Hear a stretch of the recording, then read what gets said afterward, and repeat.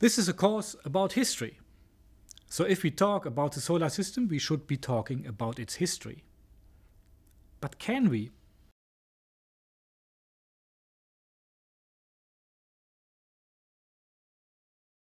History makes sense if something changes. But isn't the solar system just the prime example of something that is not changing? After all, the fact that the planets follow their simple orbits unchanged for long times was what made the start of modern science even possible. There's even a science fiction story by David uh, Gerrold and Larry Niven about this. It's called The Flying Sorcerers, and it's based on this problem. On a planet orbiting a system of two suns, the motions are so complicated in this book that the inhabitants never manage to start science because there are no regularities. If the planetary motions would not be extremely regular, Johannes Kepler would not have been able to derive his simple laws of planetary motion, and Isaac Newton would have had a much harder time to find the basic laws of motion and gravity. The solar system is the one model we have for unchanging stability and dynamic simplicity, it seems, an ideal laboratory to derive the laws of nature. When we want to talk about history, we can certainly talk about the formation of the solar system in an historic context. We can also talk about how the solar system will end at some point. And as I will tell you today, the solar system is actually not as unchanging as we think.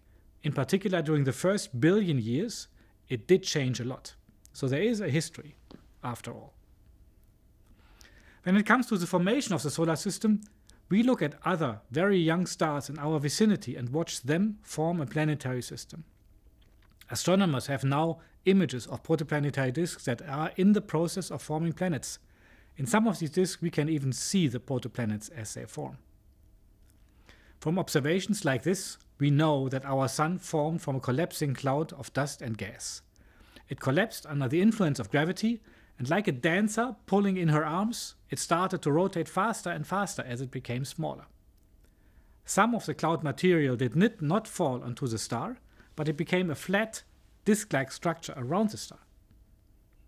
In this disk, small dust particles started to stick together and to grow all the way to the Earth-like planets and the giant planets that we are seeing now. Most of that happened quickly, in a time span of only 10 million years. This is in fact short compared to the age of the solar system, which is 4,500 million years. When the Sun dies, swallowing several of the inner planets, it will be more than 10 billion years old.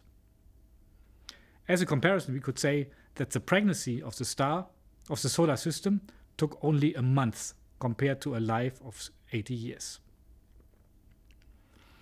In the previous lecture, we made an inventory of everything that makes up the solar system.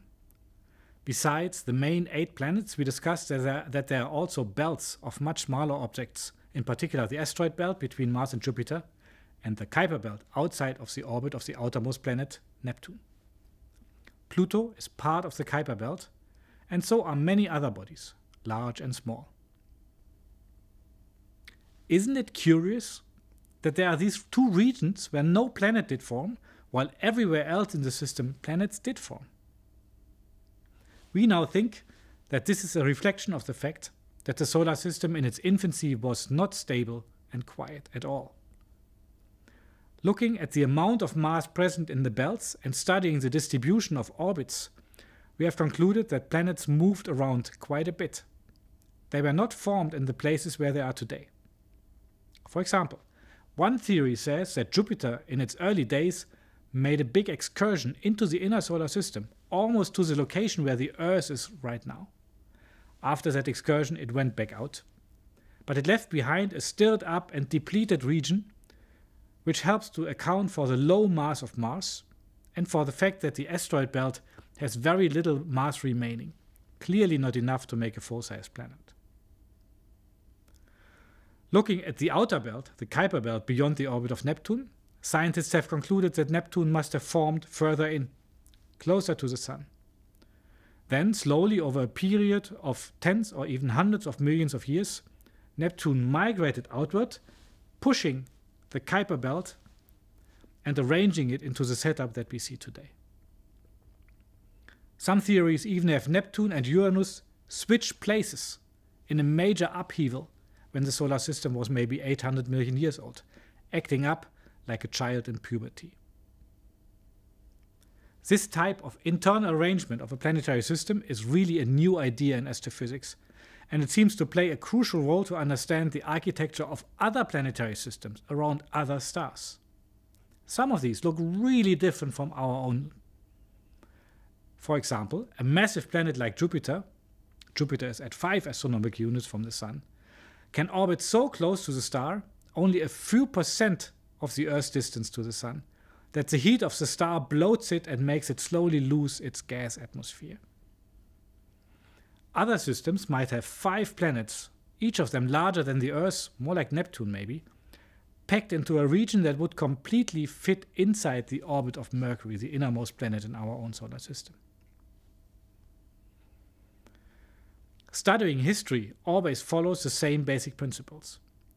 We are looking for artifacts from our own past, or we are looking for situations and locations that we believe are good models for our past to study what's going on there.